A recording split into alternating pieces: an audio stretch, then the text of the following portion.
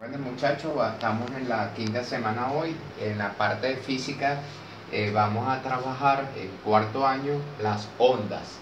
Eh, vamos a hacer unos problemitas de onda. Los problemitas de onda dice que la velocidad de una onda eh, es lambda sobre por la frecuencia, donde lambda es igual que la distancia, por eso se hace esta simbología aquí, distancia, lambda es distancia y f es frecuencia, y ves la rapidez es un movimiento uniforme.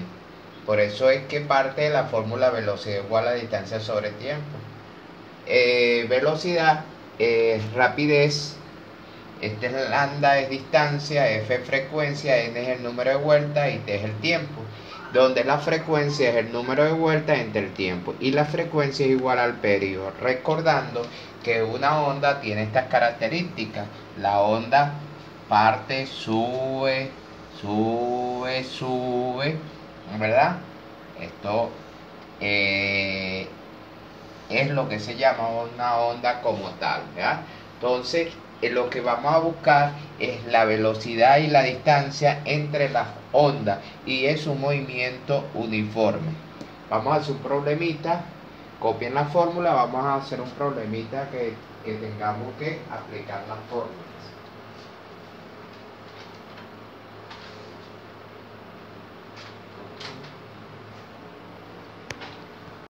Continuando con el problema de onda, el problema dice así, una ola en el océano tiene una longitud de 10 metros y una onda pasa de una posición a otra cada dos segundos.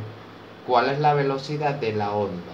O sea, me está diciendo que la longitud de onda, la vamos a denotar como lambda, es 10 metros y pasa de una posición a otra, o sea, el tiempo de una posición a otra es 2 segundos. O sea, que si pasa de una posición a otra, cada oscilación es una. El número de oscilaciones, una. Y me piden calcular la velocidad. ¿Verdad? La velocidad sabemos por las fórmulas que yo le di anteriormente que la velocidad viene siendo lambda por la frecuencia. Pero ¿quién es la frecuencia? La frecuencia es el número de oscilaciones entre el tiempo. ¿Cuánto es el número de oscilaciones? Una oscilación entre el tiempo que es 2, eso queda 2 segundos, eso es 0,5 Hz. ¿Ok? 1,5 Hz. Recordando que un Hz es 1 sobre segundo. O utilizamos Hz o 1 sobre segundo. Entonces nos queda que la velocidad es igual a lambda, que es 10 metros, por la frecuencia, que la frecuencia es 0,5 Her, que es 1 sobre segundo. 10 por 0,5 da 5 metros sobre segundo. Entonces, la velocidad de la onda es 5 metros sobre segundo.